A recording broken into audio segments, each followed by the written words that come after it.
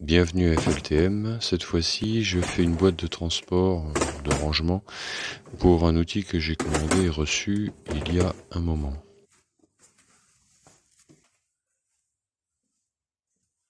Il est arrivé dans un carton de piètre qualité qui résistera pas tellement dans le temps.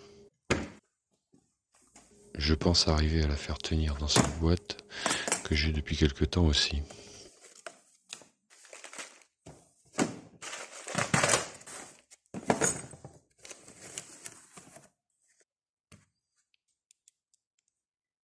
Cet outil est une sertisseuse pneumatique à douille. Ça permet de poser des douilles filetées dans des tôles, des tubes, et même euh, j'ai testé, ça a l'air de tenir sous certaines conditions dans le bois. Il y a six embouts différents, M4, M5, M6, M8, M10 et M12, et des vis de remplacement au cas où. Et voilà à quoi ça ressemble. Le but est de tout faire rentrer là-dedans. À ce stade, je sais pas trop où je vais. J'ai quelques idées, mais qui restent à tester. Mon but est de conserver le maximum de bacs de rangement pour les douilles.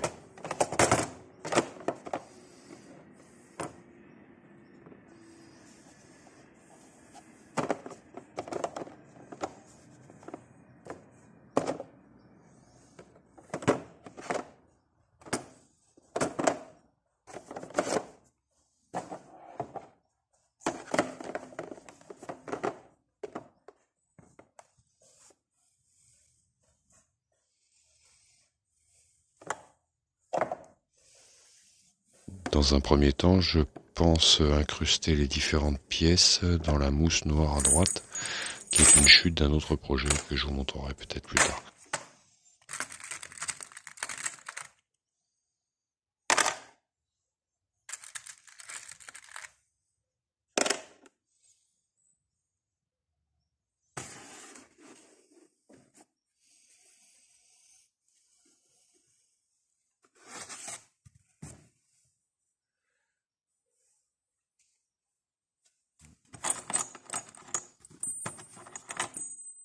Mais finalement, je change d'avis et essaye autre chose car je me rends compte que je n'ai pas beaucoup de bacs de rangement.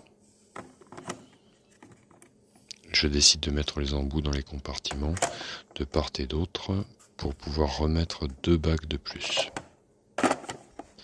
Cette solution m'oblige à travailler la mousse un peu plus, mais c'est préférable.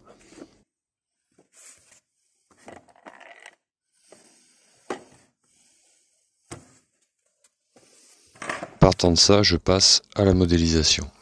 C'est une partie pas très spectaculaire. On reste assis devant l'écran avec euh, deux quoi mesurer et des objets.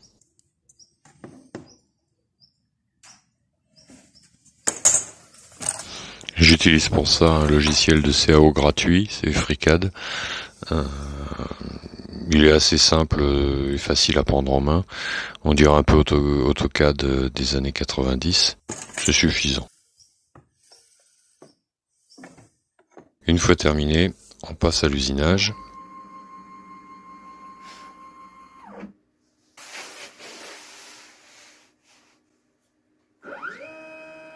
Je commence par positionner la mousse pour qu'une face soit bien dans l'axe des Y en faisant un déplacement relativement long.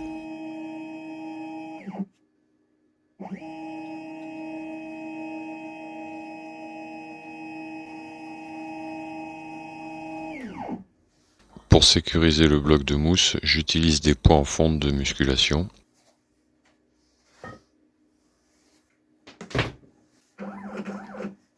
Je détermine la hauteur 0. Et c'est parti.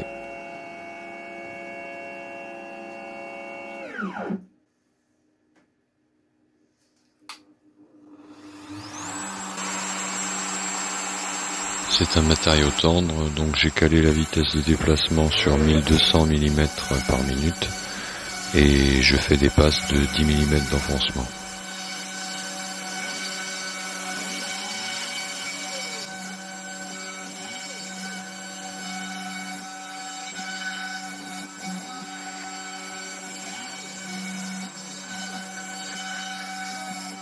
Voyez intervenir avec des baguettes pour récupérer des lamelles de mousse qui se détachent à l'usinage. Ça peut sembler bizarre comme technique, mais j'ai pas très envie de le faire avec les doigts, et si je touche l'outil avec les baguettes, ça l'abîmera pas.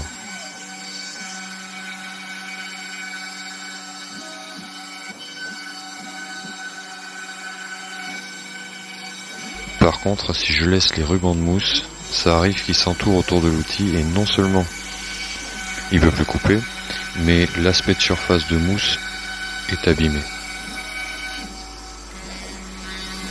Exactement comme ça. Ça m'oblige à interrompre le programme, arrêter la broche, désenrouler le ruban et remettre en route. C'est une perte de temps car cela se produit quand même assez souvent si on nettoie pas au fur et à mesure les petites lamelles de mousse. L'aspiration réglerait peut-être le problème, à tester.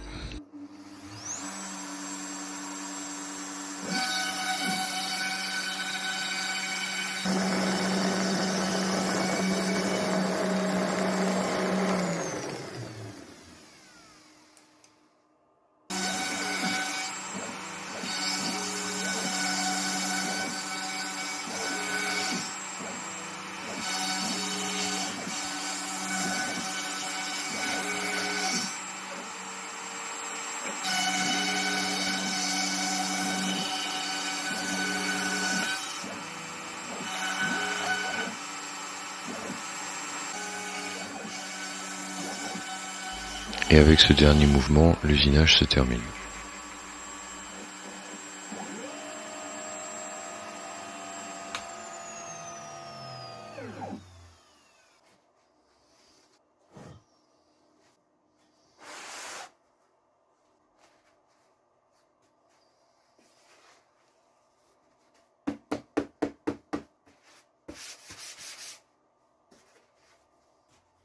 Bon.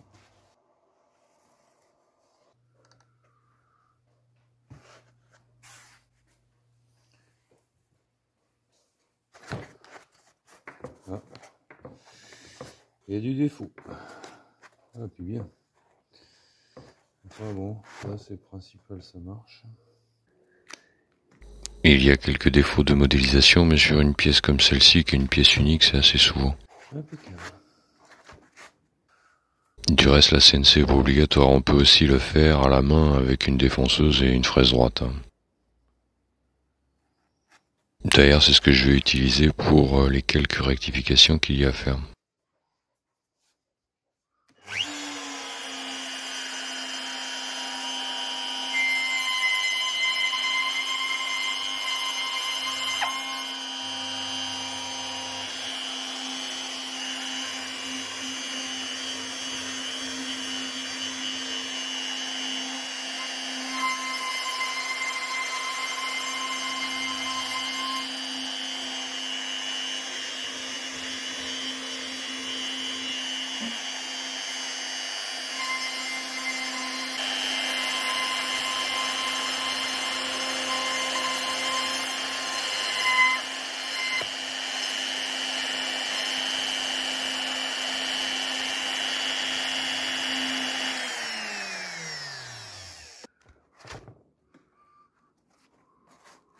Ah. Voilà à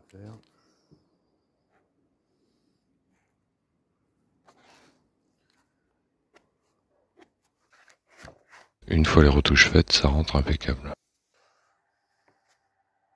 Je passe donc à la découpe de la forme extérieure du bloc de mousse pour que ça rentre dans la boîte. J'utilise des épingles pour marquer la cote sans laisser de traces sur la surface de la mousse.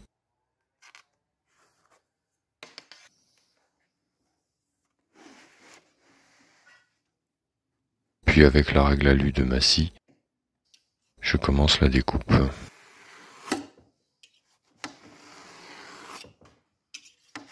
Quand la lame est à fond, je retire la règle et je termine la découpe.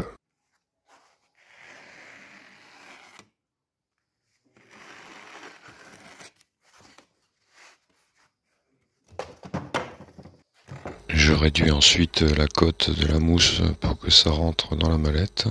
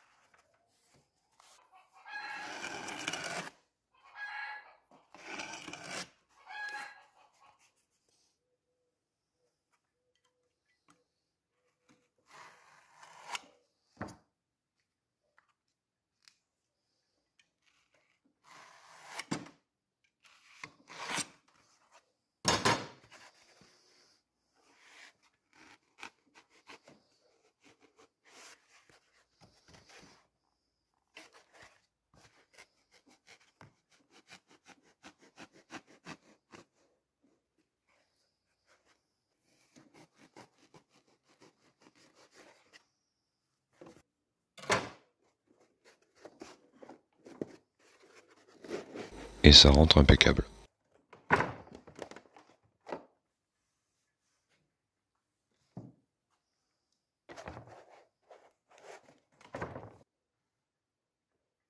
Je décide de mettre des séparateurs pour les embouts.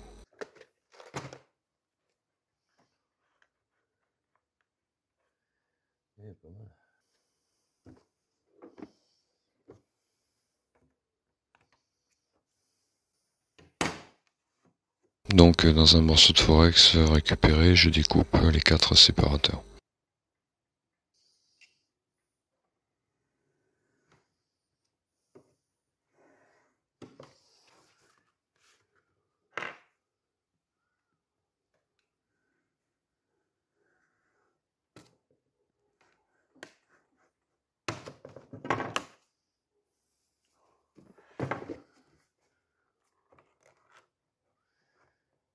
Oh.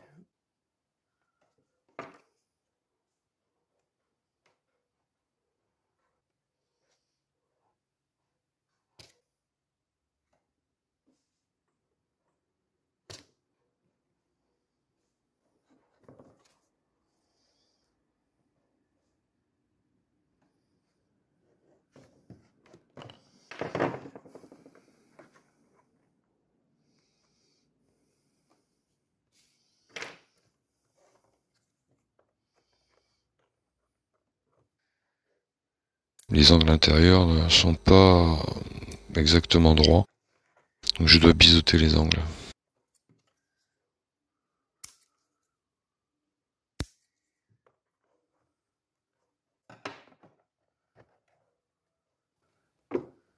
Ah, évidemment.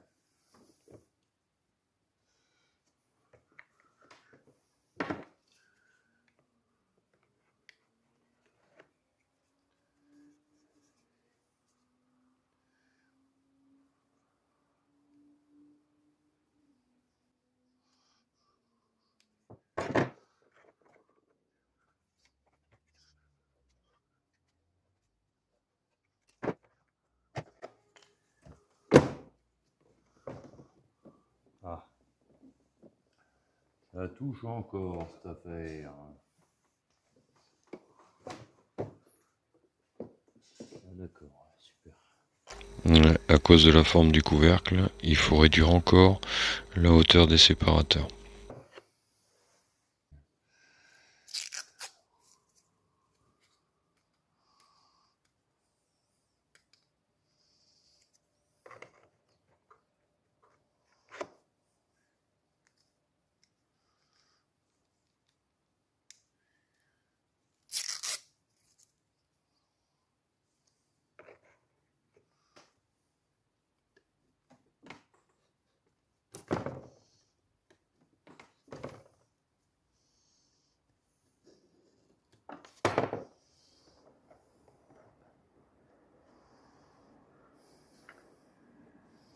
Est-ce que... Oui. Alors sous les bacs de droite, la mousse ne va pas jusqu'au bout de la, valette- de la mallette. Et ça laisse un volume où je vais ranger les vis de rechange.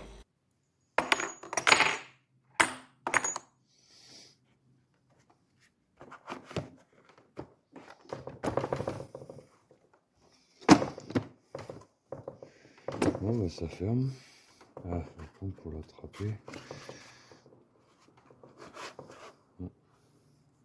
Je décide ensuite de découper la mousse pour faciliter la saisie de l'outil.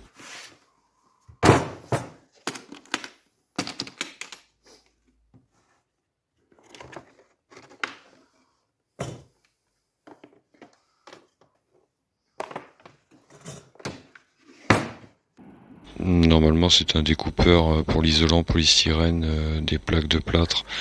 Ça permet de réaliser les passages de gaine euh, dans l'isolant.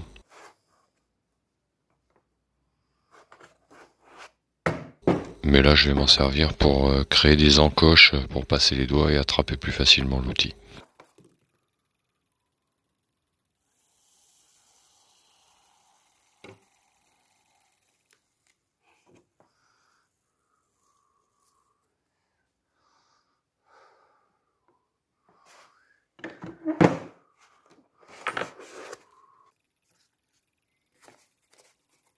Je teste la température sur un morceau de chute et je crée les encoches.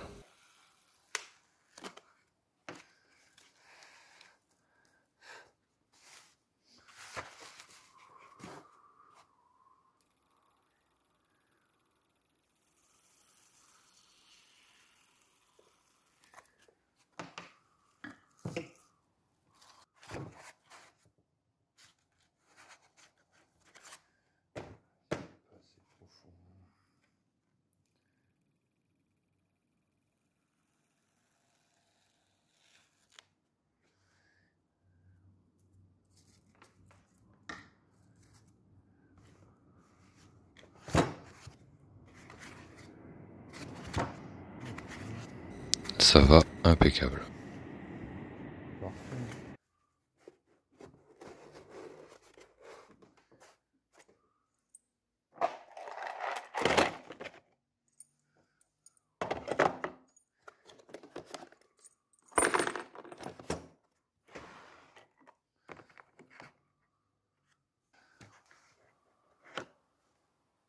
Je colle les séparateurs avec du mastic polymère noir mais vu la forme, c'est très difficile de faire un collage parfaitement propre.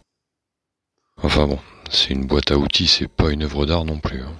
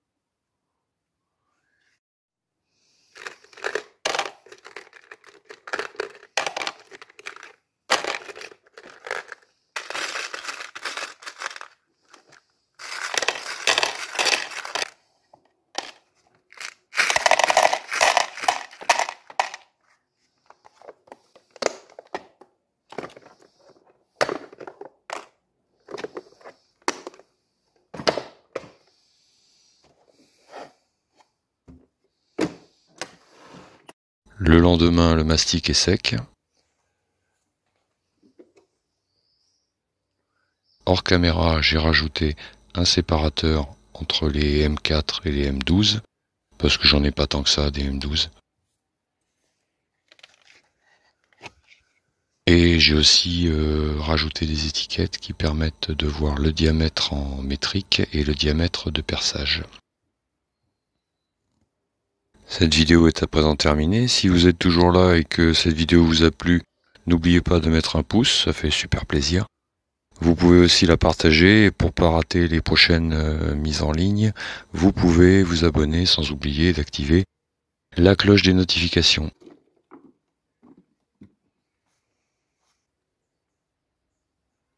À la prochaine fois sur FLTM. À bientôt.